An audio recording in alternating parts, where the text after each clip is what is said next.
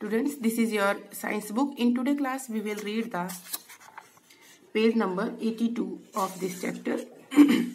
Last class में हमने इसके लास्ट के जो भी पेजेस हैं उनको रीड की रीड कर लिया है और स्टेट्स ऑफ़ मैटर को रीड किया है कि स्टेट्स कौन कौन सी होती हैं और ये हैं these are solid liquid and gases हमने एक्टिविटीज़ के थ्रू जाना था कि सॉलिड लिक्विड गैसेस जो हैं उनको विजिबल होते हैं कि नहीं होते हैं तो एक्सपेरिमेंट के थ्रू हमने उसको देखा था। और नेक्स्ट है हमारा कि स्पेस लेते हैं ये तो स्पेस में हमने ग्लास का एग्जांपल लिया है। तो उसमें देखा है कि स्टोन को डाला है पेबल्स को तो वो भी स्पेस लेते हैं वाटर भी स्पेस लेते हैं। जब वो किसी मतलब वो जो भर जाता है तो उसके बाद में वो बाहर यहाँ पे गिरता हुआ दिखाई दे रहा है लेकिन जब तक वो खाली था तब तक उस, वो उसमें उतना आया ठीक है? जैसे ये है ये भर गया जितना जगह होती है उतना वो उसके अंदर आ गए वाटर भी आ गया और पेबल्स भी आ गए। इसी तरह से हमने ये गैसेस का देखा कि जब तक वो सीधा ग्लास डाला तब तक कोई भी वाटर उसके अंदर नहीं गया। जैसे टिल्ट किया एयर बबल के रूप में बाहर निकल गई और वाटर अंदर चला गया ग्लास में। ऐसे ही मैटर में वेट होता है, हमने रीड किया था। तो सॉलिड में भी वेट होता है, लिक्विड में भी होता है और एयर में, गैसेस में वेट होता है। हमने बैलून के एग्ज़ाम्पल से इसको जाना कि एयर में भी वेट होता है। और difference between solid liquid and gases को हमने देखा कि सॉलिड और सॉलिड का एक डेफिनेट शेप होता है। उसमें कोई चेंज नहीं आता है। लिक्विड का डेफिनेट शेप नहीं होता। वो जिस भी अटेंसिल्स या वेसल में डालो, वो उसी का शेप ले लेती है।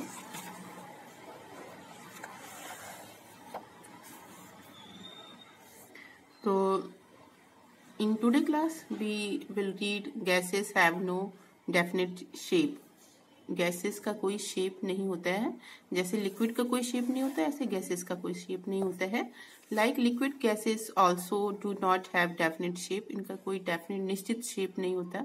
They take the shape of the place in which they are present ये उसी का शेप ले लेते हैं, जिसमें ये जिसमें ये डाले जाते हैं, जिसमें प्रेजेंट होते हैं ये। For example the air in a bottle takes the shape of the bottle bottle में होगा तो बॉटल का शेप ले लेगा. The air in a glass take the shape of glass जो ग्लास में होगी तो उसका ग्लास का शेप ले लेगी. The air in a room takes the shape of the room और रूम में होगा तो रूम का शेप ले लेगी. If you fill air into cycle tube अगर आप साइकिल की ट्यूब में एयर फिल करते हैं it takes the shape of cycle tube cycle tube की शेप ले लेगी. देखिए यहाँ पे बना हुआ है। Air is a mixture mixture of various gases air में बहुत सारी गैसेस होती हैं और can you name the gases present in air आप क्या बता सकते हैं कि एयर जो प्रेजेंट होती है कौन कौन सी होती है? कौन कौन सी गैसेस होती हैं? उसके अंदर air is a mixture of gases like oxygen nitrogen carbon dioxide and various other gases तो एयर जो है मिक्सचर है, यानी वो अकेले एयर में बहुत सारी गैसेस इन्वॉल्व है। मतलब कि हम कहेंगे उसके अंदर बहुत सारी गैसेस होती हैं। ऑक्सीजन भी होती है नाइट्रोजन भी होती है कार्बन डाइऑक्साइड और वेरियस अदर गैसेस भी होती है और इनका अपना अपना परसेंटेज होती है कि कौन सी ज़्यादा है और कौन सी कम है। तो यहाँ पर हमने इस चैप्टर में रीड भी किया था। एयर के बारे में।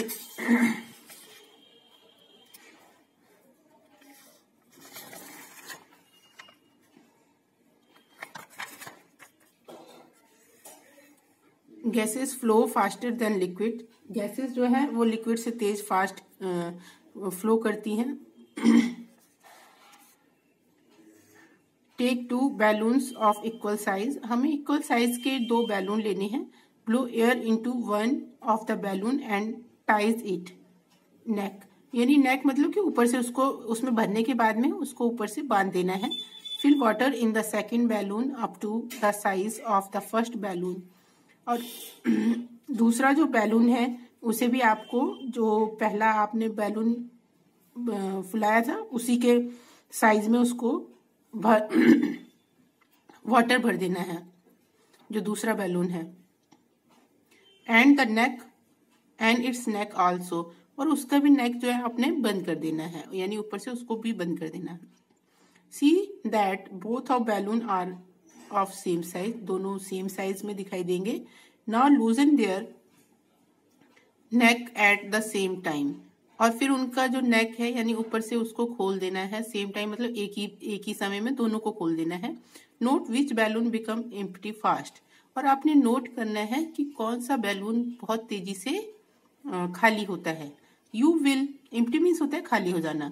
You will find that the balloon filled with air becomes empty आपको पता लगेगा कि क्या कहते जो एयर से भरा हुआ बैलून था, वो जल्दी खाली हो गया, यानी सबसे पहले खाली हुआ and the balloon filled with water becomes empty later और जो जिसमें पानी भरा हुआ था, वो थोड़ा देर से खाली हुआ।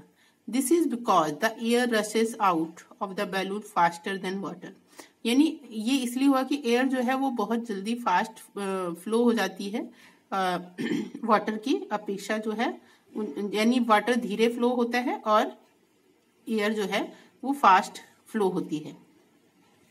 All gases flow faster than liquids सभी गैसेस जो है, वो लिक्विड से फास्ट मतलब कि तेज फ्लो होती हैं।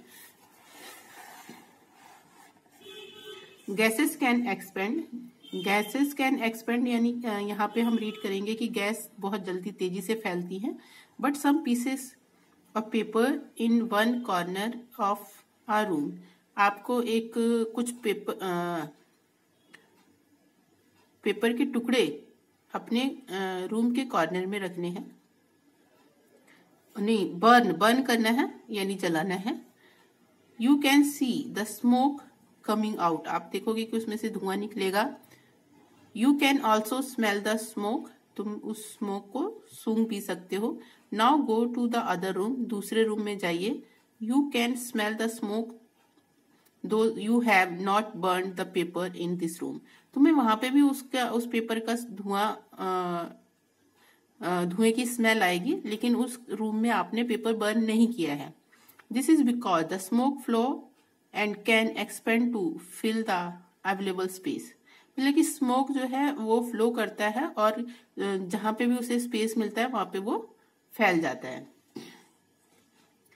If the gases cylinder is left open in the kitchen अगर गैस का सिलेंडर जो है, वो खुला छोड़ दें किचन में you can smell the gases all over तुम्हें सभी जगह पे गैस की स्मेल आएगी। वाई क्यों?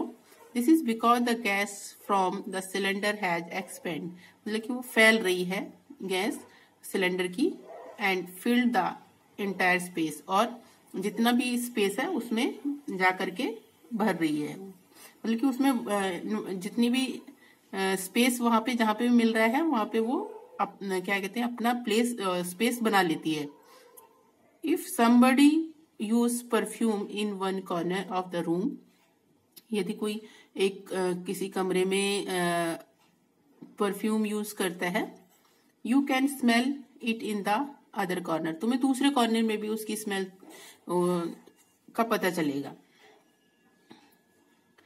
All gases expand and fill the entire space of the containers or the rooms.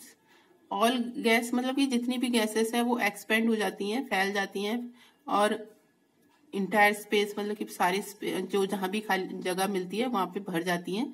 Of the container या तो कंटेनर की बात करें या रूम चाहे जिसमें भी होगा, वो खाली जगह में जाकर के वो अपने, अपना स्थान ले लेती हैं। Liquid do not expand liquid expand नहीं होता है। एक्टिविटी थ्री में यहाँ पे बताया गया है, आपको take two glasses of different size आपको डिफरेंट साइज़ के दो ग्लास लेने हैं। One big and one small एक छोटा और एक बड़ा। Fill the smaller glass smaller glass को फिल करना है विद वाटर पानी से. Now pour the water into the bigger glass आपको बिगर ग्लास में भी आपको वो पानी डालना है. Does the water fill the bigger glass completely क्या वो आ, जो बड़ा ग्लास है वो कम्प्लीटली फिल हो गया? No the bigger glass remain part partly empty यानी कुछ खाली रह जाएगा. It does not get completely filled with water as liquid do not expand ये मतलब कंप्लीटली फिल्ड नहीं हुआ क्योंकि लिक्विड एक्सपेंड नहीं करता है, ठीक है? तो जब आप छोटे किसी बर्तन में आपने यहाँ पे एग्ज़ाम्पल के थ्रू बताया गया कि छोटे में डाला सबसे पहले, फिर उसी वाटर को आप बड़े में डाल रहे हो तो वो उतना ही रहेगा जितना ग्लास में डाला है पहले। ठीक है? उससे ज़्यादा नहीं हो जाएगा। बड़े गिलास में ऐसा नहीं होगा कि वो फैल जाएगा, ऊपर तक भर जाएगा। जितना है, उतना ही रहेगा। इसलिए लिक्विड जो है एक्सपेंड नहीं करता है। गैसेस एक्सपेंड करती हैं। This activity shows that liquid do not expand और their quantity does not increase according to the size of vessel मतलब कि जो लिक्विड है, वो एक्सपेंड नहीं करता और ना ही इनका साइज़ इंक्रीज होता है बर्तन के हिसाब से, वो जितना होता है उतना ही रहता है। A given quantity of liquid always takes up the same amount of space और जितनी क्वांटिटी होती है लिक्विड की, वो हमेशा सेम ही रहती है, उतना ही जितना उसमें स्पेस में होती है। जितना मतलब को स्थान घेरती है, उतनी ही रहती है, उससे ज़्यादा नहीं होती है। आगे आपका रिवीजन पॉइंट है। All materials surrounding us are term as matter जितने भी मटेरियल्स हैं, वो हमारे चारों तरफ़ हैं, उसको हम मैटर कहते हैं। Matter is substance that has mass mass means होता है वेट एंड ऑक्यूपाई स्पेस और जितनी भी मैटर है, वो उनमें वेट होता है, भार होता है और स्पेस जगह लेते हैं। There are three states of matter three states of matter होते हैं solid liquid and gases